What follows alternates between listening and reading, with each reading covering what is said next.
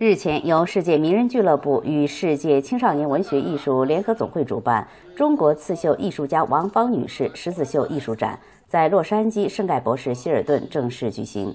美中交流促进会主席董复兴、圣盖博士市长廖清和、核桃市市长代表 Grace 沈等与侨团代表到会支持并颁奖。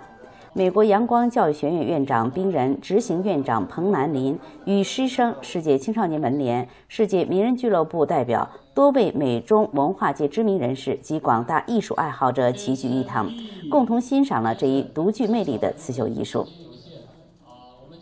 作为人类非物质文化遗产的重要组成部分，中国刺绣因其历史悠久、种类丰富、做工精致、样式新颖等特点闻名于世。展览展出了刺绣艺术家王芳近年来创作的十字绣作品，其中包括闻名遐迩的全长二十四米的巨幅十字绣长卷《清明上河图》，传统国画题材《八骏图》、琴棋书画图、书法题材《天道酬勤，鸿运当头》、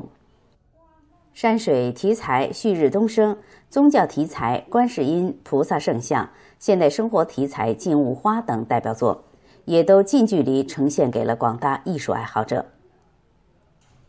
嗯，这些作品呢，都是我嗯十几年的心血。其实呢，确实也是很不容易，能坚持到现在。当时呢，风在我们中国风靡一时的时候呢，大大街小巷，男女老少其实都在绣。可是真正能坚持下来的人却很少。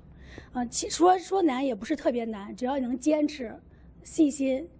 我觉得都是大家都是可以尝试的。希望呢，通过这次展览，嗯，能让大家更多的人能看到，然后希望大家能有更多的人能投入到这个兴趣爱好中来，让我们的中国传统文化不要遗失。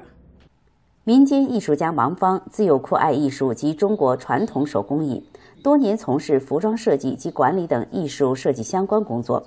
二零零八年起开始接触十字绣，潜心钻研。将十字绣与各类艺术题材有机结合，他的刺绣作品精致细腻，题材广泛，独具风格，在中美等国多次举办巡回展览。华夏电视台记者申盖博士采访报道。